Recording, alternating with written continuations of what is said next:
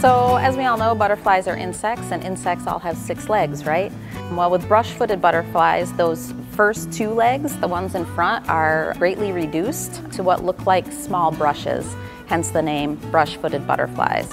So a really easy way to see if a butterfly is a brush foot or not is to take a look at it when it's landed and how many legs is it standing on. If it's standing on six legs, not a brush foot butterfly. If it's standing on four legs, there's your brush foot butterfly.